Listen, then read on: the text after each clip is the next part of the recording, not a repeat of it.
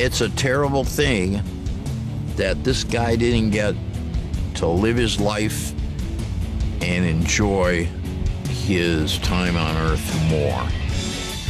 And I think that's because of the people around him. And I don't mean just his wife, all the people around him. He made too much money for too many people, and he became too valuable too soon. He had to die. And that's how it works. And that's not nice. So that's what I got to say about that.